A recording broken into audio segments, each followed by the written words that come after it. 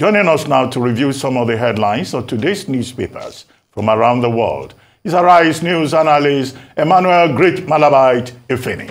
Good morning, Emmanuel. Good morning, Ruben. Good morning, Good morning Ayo. Good, Good morning, morning Rufa. Bless you, sir. Yes, we'll start the review with this day Nigeria's newspaper of record. The lead story, Kyari, Nigeria to be net exporter of refined petroleum products next year, says Tinubu saved NNPC from going bankrupt by removing fuel subsidy. Yes, Mele Kyari, the group CEO of NNPCL, uh, is making, is this a prediction? I don't want to call it a prophecy because I know it's not a pastor, but he's saying that next year, Nigeria will be net exporter of petroleum products. Well, I, I just hope he will break this down. Um, because if you look at it, if the Dangote refinery starts churning out products at full capacity, the world's largest single train refinery, all the refineries we have, two in Port Harcourt, one in Kaduna, one in Warri, yes, my city, uh, if all start producing at full capacity, yes, this may just be possible. But the minimum Nigerians are asking for from the NNPCL is that at least let's be able to meet our local demands of PMS, of diesel, of aviation fuel, so that we don't spend scarce resources importing these products from outside the country. About the only OPEC country doing that right now. That is the minimum we ask for. But the NNPC uh, um, boss is saying, no, NNPC can do better. Next year, we'll start exporting to other countries. So I like staying positive, but this positivity must be based on facts on ground. Whether it is a possibility or not remains to be seen. Now, the Punch newspaper also reporting about petroleum products. The Punch newspaper, federal government denies subsidy return, more fuel stations shut. NNPCL blame pockets of fuel queues on road delays. 25, ref 25 refinery license idle over subsidy, says Kyari. Now, the, the uh, Nigerian Tribune newspaper also has that as its lead. Um, federal government no longer paying fuel subsidy.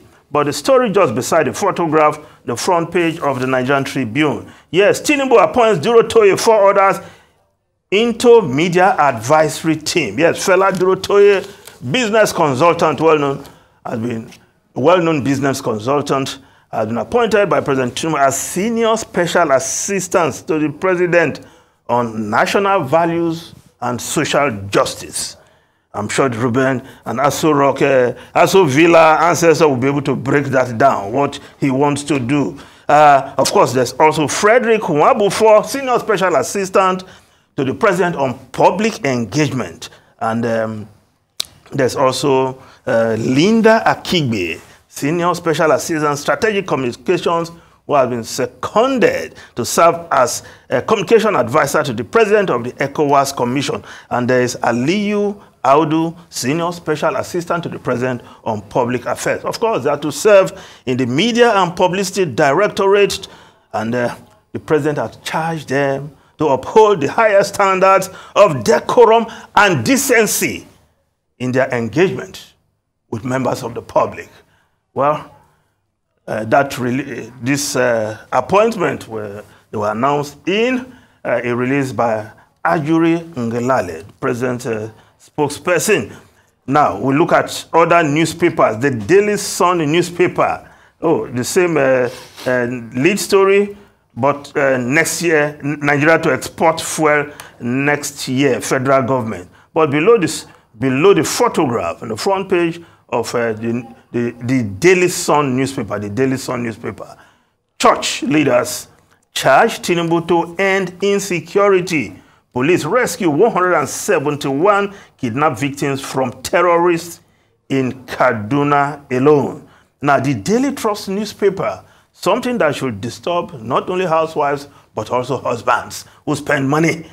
Cooking gas price hits 1,200 naira per kilogram. Marketers blame supply disruption, say further hike likely. Nigerians may resort to using firewood. Expert federal government working with NLNG to ramp up supply of fish. Well, even firewood don't come cheap these days. If you ask those who still use firewood, they will tell you it's been affected by inflation also. But Nigeria is a gas producing nation. We have gas in abundance. There's no reason why we shouldn't be able to meet our demands, as, as it were. But the price of cooking gas going up is not good news for Nigerians who are already battling with inflation, food inflation, amongst others. Now, below the photograph in the front page of the Daily Trust, Tinubu's economic policies going awry, Financial Times asks president to stop announcing plans without implementation idea. Well, it's an advisory from the uh, editors of the Financial Times. President, the Nigerian president, I'm sure this has been deliberated upon, discussed by Nigerian newspapers also. Policies, before you make announcements, must be properly articulated. You put plan in place for implementation, not announce and you scramble to implement. Now, the Nation newspaper, Tinubu, I am focused on lifting Nigeria to greatness. SGF briefs president. The stability under APC government says envoy. Yes. Now, we just move over to the Guardian newspaper. Scarcity of diagnostic services cripples cancer care in Southeast. Yes, MRI scan, difficult to come by according to this report. Um, and um, yes, talking about the treatment of cancer, uh, cancer in the southeast, and there's a problem of care right there because of lack of equipment to do the right diagnostics. Now, the Business Day newspaper reporting Egypt goes from role model for Nigeria to basket case. Not too long ago, Egypt was held up as a model country for Nigeria after it, it uh, after its uh, bold economic uh, reforms in 2016 made by the Arab world's most populous country, the darling of investors. Of course, that is no more because Egypt has since become a basket case. Now, the Vanguard newspaper, envoys stranded as federal government foot drags on implementation that's talking about the recall of ambassadors, which the federal government announced recently that that process must be completed by the end of October. But envoys are for dragging. And the reason is that no machinery in motion for envoys to return, according to sources, say ambassadors yet to receive I, AIEs, cash backing.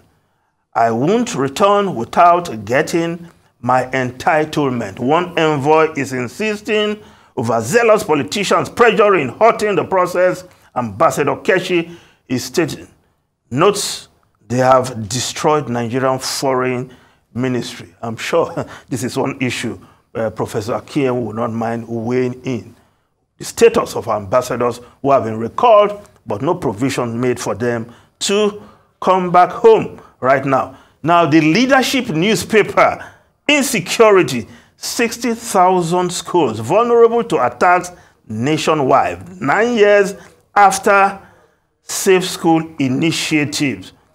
And of course, the bandits have been having a field day attacking schools uh, in the northern part of the country, especially in the northwest. Now, the foreign newspapers quickly, the Guardian newspaper of UK, Israel declares siege on Gaza as Hamas threatens captive. UN chief condemns the escalating violence amid soaring death toll. The, the independent newspaper of uh, UK also reporting this story, war in Middle East, 10 Britons dead or missing as Israel exacts revenge. Kidnap fears for UK nationals as 11 US citizens confirmed dead. Israel orders complete siege to starve Gaza of food and power. Netanyahu tells Biden he has no choice but to invade Gaza. Yeah, the, the Times of London reporting this story, Hamas, one hostage will die for every Gaza strike. Terrorism threatening uh, to broadcast civilian executions. Israel bombards strip, strip and cuts off power. Of course, the photograph on the front page of the Times, a whole family killed in that Hamas in, invasion in uh, one of the kibbutz. Entire kibbutz family murdered. Ruben, Rufai, and Very Ayo. sad. Very sad what, what is happening. We, we can see the humanitarian toll it's taking. And the message released uh, by the Qassam Brigade wing yesterday of Hamas, uh, that message was quite chilling. I think it was, it was, first run on the Arabic service of Algiers, uh, Jazeera, and uh, what they pretty much said was very chilling that uh, for every strike, that they should cease the strike, for every strike that they're going to kill, and if possible, show it live, you know, via media outlets and all of that. But a lot of investigation has been also as regards how Israel missed it.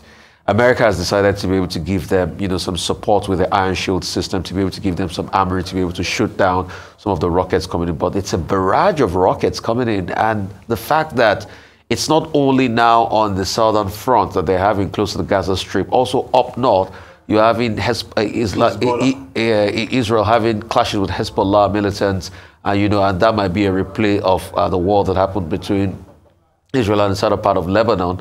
So uh, the international dynamics is on. You know, Saudi Arabia is calling for peace. All nations of other ones are calling for peace. Very, very sad times. I mean, it was the killing at the music festival that I can't get my mind over, where the militants came and they shot over 260 people dead and beheaded some people. Very, very sad one. Well, before we go, two things that I need to point out. I read a very interesting article in this day today, The Advocate, Onikepo Braithwaite, which I think is a very well informed opinion uh, by somebody who understands the subject about what she calls Atiku's voyage of discovery, an endless soap opera, a continuous soap opera. And she made quite a number of, you know, foundational statements that law and morals are not the same. Two, law does not follow logic. The law is an ass. That's from Charles Dickens. Charles Dickens used to ridicule lawyers a lot. And then that the judiciary has been turned into a scapegoat. And that lawyers have to be sanctioned for turning the law on its head. And that there should be discipline within the bar, which is a very sound, you know, argument. The rest of it, I recommend to people to read. Onikepo Braithwaite in today's This Day, the law pages. The editor of the law page. Yes. Now, This second point is the menace of fake news. Yesterday, the social media just went on a misinformation uh, overdrive. They announced the death of a statesman, General Yakubu Gowon, 88 years old. Only for the elder statesman to come later in the day and say, look, I'm alive and I'm not in a hurry to leave uh, the enjoyment of, uh, uh, of, of this uh, space where uh, uh, uh, pepper soup and jollof rice is, are still uh, special delicacies. But the issue is about fake news. Ruben, But my- it's not social media, Dr. Yeah, I gonna say, I, I, I, I, I, Is it I not beg- social media? No, I beg to Traditional disagree. It was the same traditional media that announced the death of Nnamdi Azikiwe. No, but yesterday, no, no, this but yesterday that, that story media? was on social media. It's the on same every tradition. platform. Media and media. Well, No, I don't know the source, but social media was circulating. Dr. And Abachi. misinformation is a threat to society. No, Dr. People Abachi. should not kill people on uh, social media or even in the my, mainstream. my phones uh, were besieged yesterday by calls.